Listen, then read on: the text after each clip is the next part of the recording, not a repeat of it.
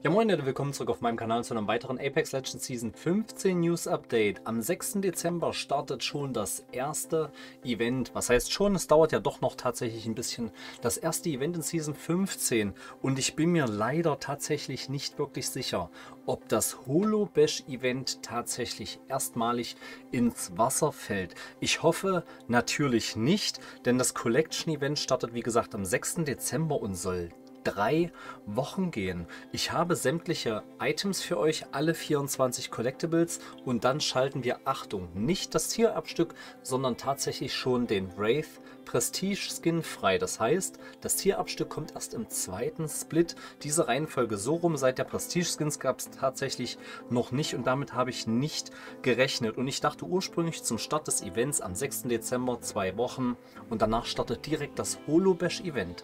Achtung, mir ist im Video was aufgefallen, ich habe es schon eingesprochen und auf einmal sehe ich, Mensch, da wird ja was gezeigt. Achte mal genauer drauf, denn oben links also ihr seht ganz oben Season Eclipse und irgendwann wechselt immer mal, jetzt muss ich mal gucken, ob ich das auf der Schnelle sehe. Irgendwann steht da 69 Tage, da stehen 69 Tage, bedeutet der Start ist am 6. Dezember, das kann man soweit runterrechnen. Allerdings äh, steht weiter unten Wintertide Collection, Event Packs und so weiter noch 20 Tage. Das heißt, das Event geht drei Wochen, somit bis zum 27. Dezember. Und ursprünglich nach zwei Wochen dachte ich, danach startet direkt das Holobash-Event, ein bisschen Weihnachtszeit reinstimmen, so wie das jedes Jahr der Fall war, Holobash-Event bzw. das äh, Winter Express-Event, wer es noch nie gespielt hat zu Weihnachten mit einem Zug quer äh, über vier Stationen auf World's Edge macht ultra, ultra Spaß. Also das ist wirklich einer meiner Favorite-Modi im gesamten Spiel. Ich zeige euch jetzt erstmal alle Skins und ich hoffe auf eine Mischung von verschiedenen Modi, weil es heißt zu Weihnachten erstmalig anders das Event. Nicht Holobash, sondern Wintertide.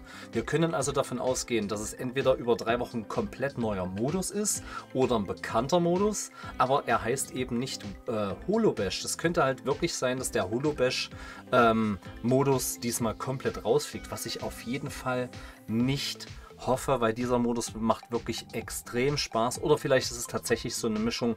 Das ähm, erst vergangene Halloween-Event war ja auch eine Mischung über vier Wochen von verschiedenen Modi, vom Shadowfall-Event bis hin zu Gunrun und Capture und so weiter. Und deswegen könnte natürlich das jetzt in dem Winter-Event genauso sein. Ich habe mich einfach nur ein bisschen erschrocken, dass das vielleicht komplett ins Wasser fällt. Wie auch immer, wir fangen jetzt mit dem Bangalore Frame an und vergesst bitte nicht eure ehrliche Meinung hier reinzuschreiben. Was haltet ihr von den Items?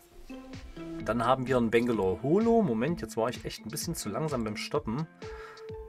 Zack, wir wollen ja alles genau sehen. Das ist das Bangalore Holo. Wir haben ein Crypto Frame. Dann noch ein Crypto Holo. Ein Newcastle Frame. Und Newcastle Holo. Dann haben wir ein Valkyrie Frame. Und jetzt, da musst du wirklich zweimal hinschauen. Ich dachte beim ersten Mal hinsehen, Mensch, Valkyrie Holo sieht doch eher wie Wraith aus. Aber es ist natürlich Valkyrie. Dann haben wir einen Horizon Skin und einen Mad Maggie Skin. Alles noch episch, nicht legendär. Wir haben einen Mirage Skin und noch einen Wraith Skin. Jetzt kommt der ganze legendäre Stuff. Und da fangen wir mit dem Bangalore Skin an. Dann die Car SMG. Ein Krypto Skin. Der hat auch was, muss ich sagen. Und jetzt kommt mein absoluter Favorite, bis natürlich auf den Wraith Prestige Skin, der Havoc Skin. Und da muss ich leider sagen, schade. Im Battle Pass kriegen wir zum Start direkt einen mega, mega geilen legendären Havoc Skin. Äh, da kannst du dich dann schwer zwischen beiden entscheiden, wenn wir in einer Season zwei richtig geile Skins für eine Waffe bekommen. Aber das ist ein Luxusproblem. Als nächstes geht es weiter mit Newcastle. Dann haben wir die PK. Dann haben wir Valkyrie die Triple Tag. Jetzt geht es nochmal ganz kurz zurück auf Valkyrie. Jetzt kommt Bloodhound. Der finde ich sieht so ein bisschen dem Battle Pass Skin von der letzten Season ähnlich. Dann die Prowler. Gibby. Und die 99. Und hier finde ich es nach wie vor sehr, sehr schade. In der Vergangenheit sind auch extrem viele 99 Skins rausgekommen.